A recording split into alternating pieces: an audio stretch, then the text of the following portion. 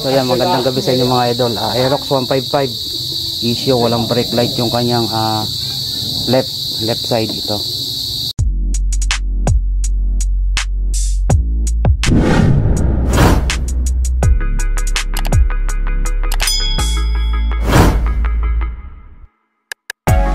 So ito yun.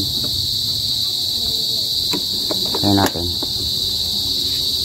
So yan, naka-tail light siya. Tingnan niyo sa uli.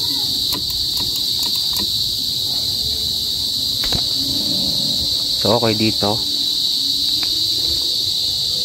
Pag umilo to mga idol, itong dalawang ito, uh, pinag-shorted na ito.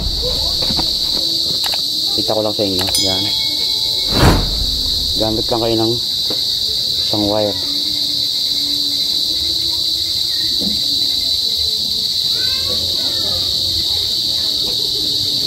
Bagusok-sok nyo lang dito.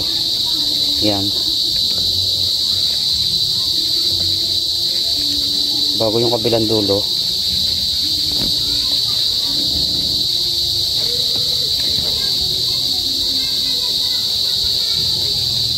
Lagay nyo dito mga idol. Kumbaga parang pag uh, bubuoyin nyo yung connection ng kanyang ano. So ayan wala. Yan o oh. oh, wala siyang brake light yan di katulad na rin isa sa kanyang right side. Oh. dapat ganyan. So off muna natin susi check natin yung connection. So check natin mga idol yung kanyang connection.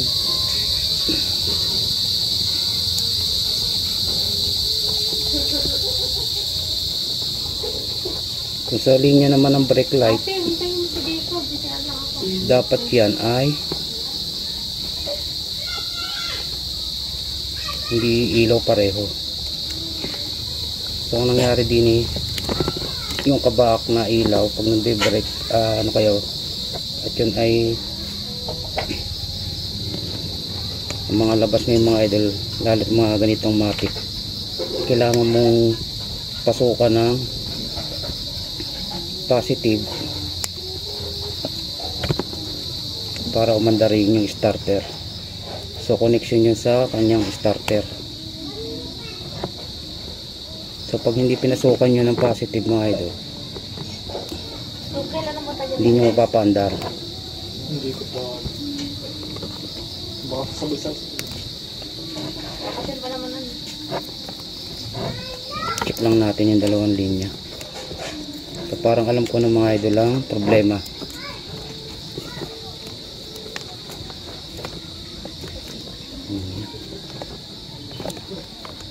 Oh, nakahinang siya eh. Ganun. Corrosion eh oh.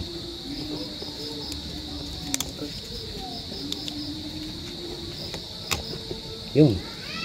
Yung mga idol, natanggal na nga. Hotel pa yung ano. So, check uli natin. Kapitin muna natin siya pareho. Putol. Kailangan yan. Umilaw na yung kanyang brake light. Yun. Para lumakas na. Hmm. So, tanggalin natin. Yun. Yung So, yun na ang problema mga idol. Karoon ng corrosion. So, hinina ko na yan. Nagkaroon pa rin ng corrosion. So, tingnan nyo. Pagka ididikit ko dito.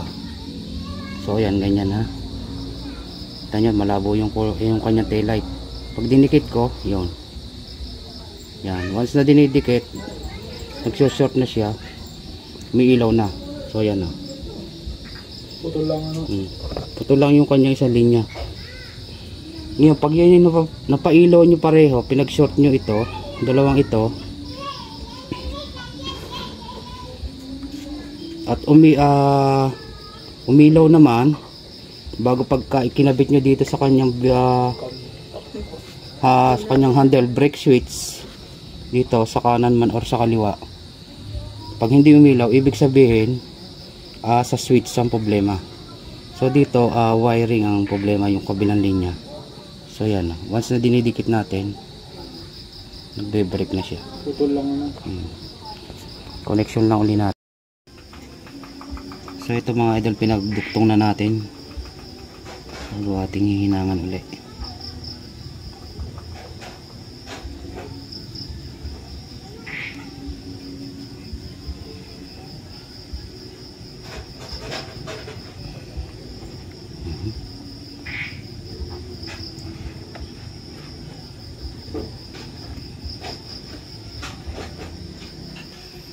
Ayun na.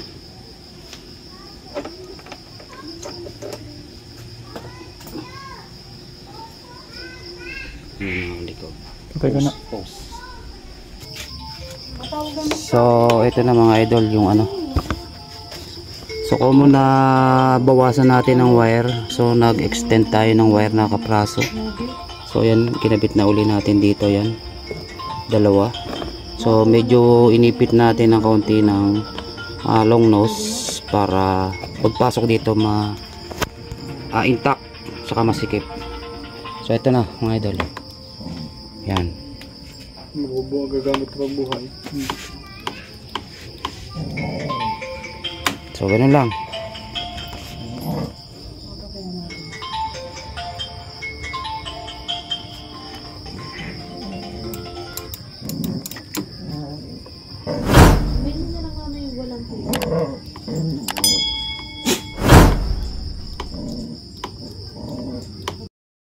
So ayun at mga idol, ah, para mas maintindihan ninyo ipapaliwanag ko sa inyo kung paano nga nagtatrabaho yung ating starter sa Aerox 155.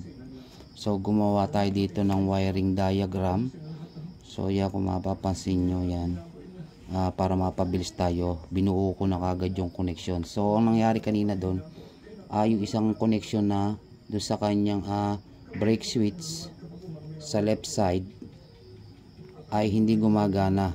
Pag nagpo-start tayo at nag-brake tayo hindi niya rin ah, nagbibigay ng signal doon sa kanyang stoplight para malaman natin na buo yung connection nung ating sa brake switch nung ating Aerox 155 so anong nangyari dun nga mga idol yung isang linya ay cut. So kailangan buo yung wire na yan. So walang problema yung switch kasi kanina nung pinagduktong natin to hinugot natin yung sa terminal pin. Ginamitan natin ng wire. Parang pinag ah, nirekta natin papaganyan hinugot muna natin dito sa kanyang ah, normally close na brake switch sa kamay. So hindi siya umilaw. Ibig sabihin mga idol ah, sinunsumpa natin tong ah, kailangan siya kailangan kasi umilaw yan pagka inirekta na natin. So nangyari hindi umilaw.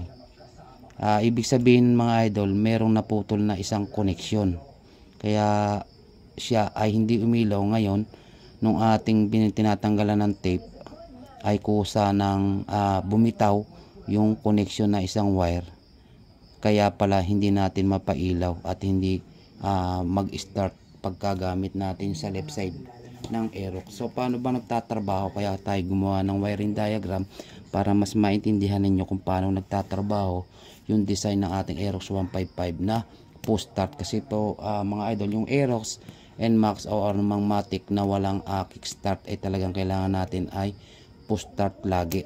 Kaya kailangan ah, laging kondisyon yung ating battery.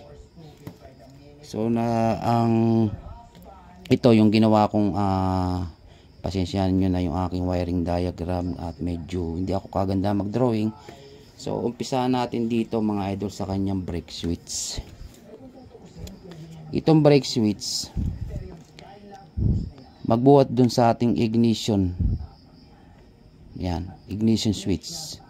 Yung sa, sa ating susian. So como yung ating ah, ah, ignition ng ating Aerox 155 ay ah, de-remote na. So ikukumpara lang natin sa disusi. Kasi dito mga idol from positive papunta ng ating ignition So pag nagsusi tayo lalabas dito ACC. Positive din yan. So yung isang connection, kumuha tayo dito sa ACC, uh, sinuplayan niya yung ating brake switch. Yung isang wire doon na hinugot natin, yun po ay may connection po yun. Yun po ay gumagana. So, hindi ko lang napakita sa inyo kanina ah, yung pagte-test light at ah, hindi ko na nakuha na ng video. So, ang nangyari doon, buo itong isang connection, isang wire na galing doon sa ating terminal pin ng ating brake switch. So, ang nangyari nga naputol ito. Kaya, kahit pasukan siya ng ACC from ah, ignition switch natin, hindi rin mabubuo yung connection kasi nga ah, nag-cut siya dito. Nagkaroon ng corrosion, kaya hindi niya pasukan yung ating number 86 so lumiban dito pag may ganyan mga idol lumiban yan papunta ng ating 86 ng ating relay so sa iba kung hanapin nyo meron kasing ah, starter relay yung mga stock na labas wala pong mga number na nakalagay hindi po katulad ng ating starter ah, relay na ginagamit natin sa mga busina at ilaw na may mga numbers na 86, 85, 87 output at saka number 30 So, nung mabuo nga natin mga idol, kaya natin napagana. So, dinuktong na natin to. At ito mga idol ay papunta nung ating 86 ng ating starter relay at kailangan natin supplyan to ng positive yung ating starter relay. So, hindi pa yan magti-trigger mga idol. Bakit? Kasi nga mga idol, kailangan pa natin mag-push start. Kasi nga mga idol, yung ating ah, push start naman sa ating uh, Aerox 155 ay meron ang isang linya naman yan mga idol ay galing na nung ating body ground so may supply na yan. Yung isang wire niyan ay may supply na ng negative. So kailangan natin pagdikitin yan. Mag push start tayo para magkaroon ng connection tong uh, isang wire papunta naman dito sa ating number 85 so ngayon pag tayo naka brake at naka push start tayo magti-trigger na pareho yan magsusupply ng positive at magsusupply itong uh, itong ating uh, brake switch magsusupply dito sa number 86 ng ating relay at itong ating push start magsusupply dito ng negative sa ating uh, starter uh, relay para mag-trigger ito para yung supply na positive na galing ng ating battery direkta to. Kung mapapansin niyo sa ating starter relay direkta sa positive yan ng ating battery at yung ibabaw niya may dalawang tornilyo. Yung isa niyan na galing battery ay pag tineslight ninyo kahit po patay ang susian yan po ay may supply.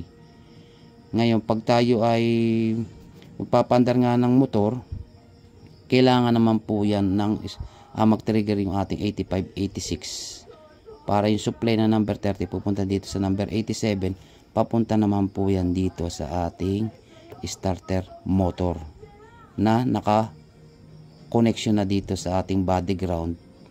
Kung mapapasin nyo nakatornilyo yan sa ating body ground. At doon na niya paiikutin tong starter motor papunta ng ating uh, starter motor gear pa sa loob ng makina para mapaandar na natin yung ating motor. So yun. Sana mga idol ay naintindihan nyo yung design at yung ating pinaliwanag dito sa ating Aerox 155 kung paano tatrabaho yung ating push start dito sa ating ah, Aerox 155 so ganun lang. Sa isang araw mga idol ah, kung kayo ah, mayroon tayong pagkakataon ay papaliwanag ko naman sa inyo yung paano naman tatrabaho doon sa ating mga ah, mga decambio yung mga first gear, second gear, third gear, fourth gear, fifth gear or yung quinta natin tinatawag na ginagamitan din natin ng brake switch sa mga motor na uh, decambio na ginagamitan natin ng brake switch para mapaandar natin yung starter motor. So pag naka neutral siya ay mapapaandar ninyo kahit hindi kayo nakakambyo kahit hindi kayo nakapiga ng uh, brake switch. Pero pag siya ay once na kayo kumambyo ng first gear at hindi kayo pumiga ng inyong brake switch ay hindi po yun mapapaandar kaya napakagaling po ng uh, design ng mga engineer uh, para na rin sa kaligtasan ng ating mga motorista. So yun lang mga idol, sana may natutunan kayo. Uh, don't forget to follow at huwag kalimutang mag-subscribe sa aking YouTube channel para maging updated ka pa sa aking mga video i-upload. So, God bless.